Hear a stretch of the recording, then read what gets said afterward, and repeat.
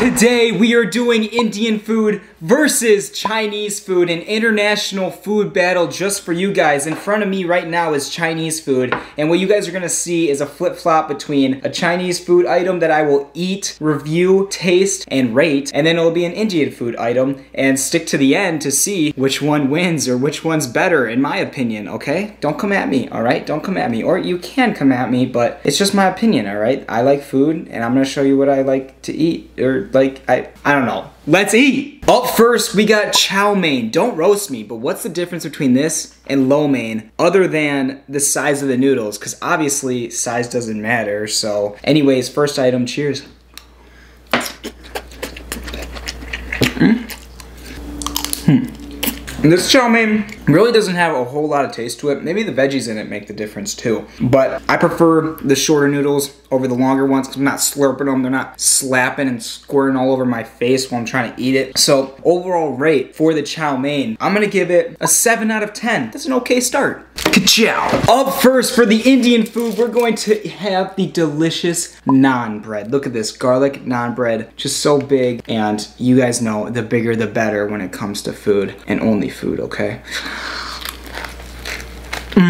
I just like it's so fluffy, so much taste. But when you combine that with the other stuff like curry or chicken tikka masala, exquisite. So naan bread, I'm gonna have to give you a rate of 8.2 out of 10. That's a hot start right there. Up next, we got ourselves some Kung Pao chicken. Absolutely looks delicious.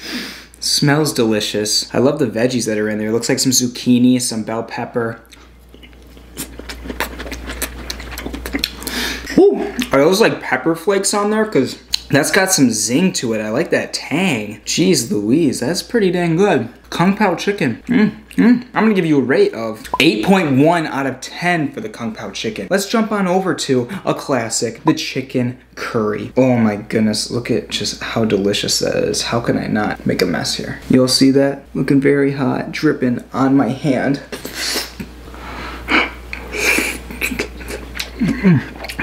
Ooh. That's hot. That's a spicy chicken curry. But delicious. Oh, the flavors are exquisite. Chicken perfectly cooked. Oh my goodness. Okay, we're gonna have to give the chicken curry a rate of 8.7 out of 10 for chicken curry. Unreal. Unreal. Now we're gonna go with a classic. Some good old teriyaki chicken. Teriyaki chicken honestly is my go-to. Very basic. I like that nice teriyaki, you know, little tang taste to it. But I like this because there's not too much on it. Mm. I'm gonna give teriyaki chicken a rate of 8.5 out of 10. Woo! Hop over here to some plain biryani rice. Classic Indian rice right here. It's like a long grain white rice pretty much. Steamed. Not a whole lot of flavor, but I mean, what can you expect? It's supposed to go with curry, whatever your main entree choice is. So for a rate of the rice, we're gonna give it a 7 out of 10 here. We're gonna crack over here to your good old classic egg roll. Look at the size of that. Look at the girth on this. It is very, very dense, looks filled to the brim. That's what I like to see. Better have a good crunch too. Mm -hmm.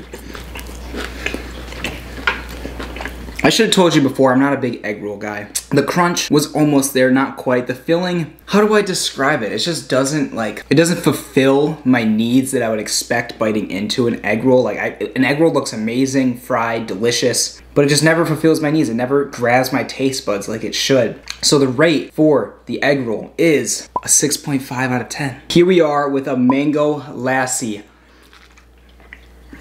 Mm, it's like sucking a yogurt smoothie, a mango yogurt smoothie through a straw, which I think is pretty much exactly what it is. Also, excuse my pronunciation on all these foods, okay? If I'm pronouncing them wrong, I'm sorry. I'm American. I could chug the rest of this. Mango lassi, holy crap. It's just the nice sweet taste that you need after eating some of the savory food over here. Mango lassi rate, 8 out of 10. It brought a smile to my face. Crack back over here. We're gonna give a good old Beijing beef a go. Look at that. Looks good. Looks coated nice. Veggies look scrumptious-diddly-umptious.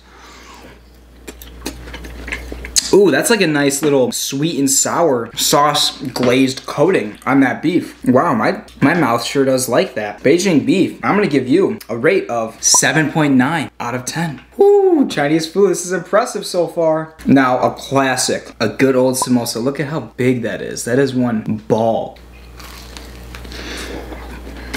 Mm. This one's a vegetable samosa.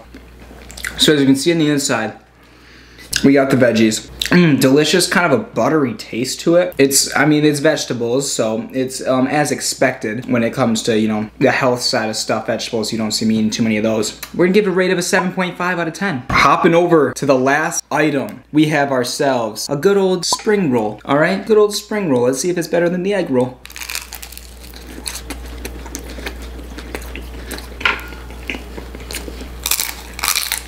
I'm not a fan. It has a lighter coating outside than the egg roll did. The inside, I'm not even sure what's in the inside of these spring rolls. It's just vegetables. It's kind of like cabbage. Not a fan, all right? Did not taste well. Just kind of swallowed it early before I didn't even finish chewing. I just swallowed it to get out of the way. We're gonna have to give that a rate of five out of 10. Oh, the aftertaste is still there, five out of 10. Last but not least, just to put the icing on top, we have chicken tikka masala right there. You'll see that. Ooh.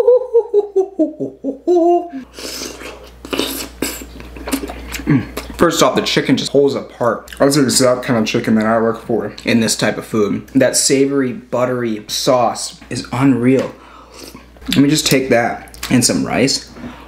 Mm, goodness. Okay, but that's not what we're rating. Just solely the tikka masala. Straight up, I'm gonna give that a rate of 9.4 out of 10. The highest rating we have had out of all of them. Oh my goodness. 9.4 out of 10 for chicken tikka masala. Much, much well deserved. What a crazy battle we have had. Before I dig in and finish the rest of this food, I'm going to give you guys the results. I did the math. We totaled up each item, each rating score out of 10. The total score, the max possible, could have been 60, which obviously I didn't give any 10 out of 10, so it's not gonna be any any of that. But give me a drum roll, please, for the result. Indian food takes it with a 48.8. Ooh, excuse me, out of 60. And Chinese food came in second with a pretty darn close 43 out of 60. Guys, it's hard to compete with Indian food. You know how much I love it. I mean, the chicken tikka masala was the game changer at the end. Very impressed with both foods. And I am just salivating over all of this food. I'm gonna dig in, just taking some of the naan, dipping it in that tikka masala, dipping it in the curry. Mm. Anyways, sorry, I hope you guys enjoyed. Go comment down below what food battle you want to see next. Whether or not it's two different restaurants or two different countries, you know, cultural type of foods. So go comment, like, and subscribe. I love you guys, and cheers.